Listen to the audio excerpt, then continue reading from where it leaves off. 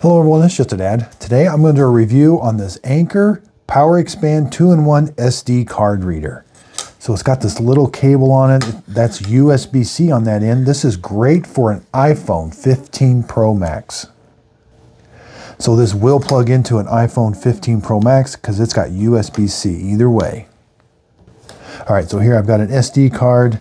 It'll take micro SD or just standard SD. So let's see, yeah, so there's the prongs, they're gonna go in towards that way. You just push it in, and now I can read whatever is on that card.